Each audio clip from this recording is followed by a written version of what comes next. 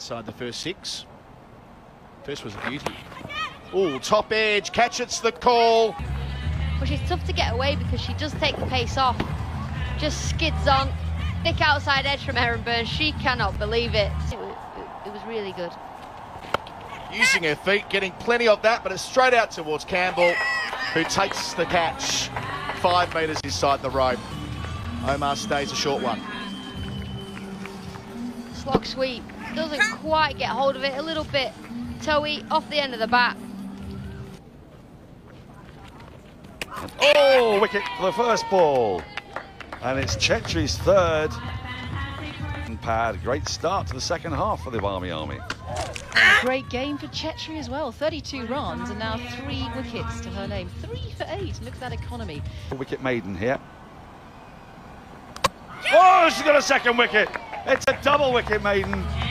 Let's take another look at this. Plenty of rip. Boundary out towards the long leg. Now she's gone high. Gone out towards the field. Who takes the catch? That's it. That's a fifth.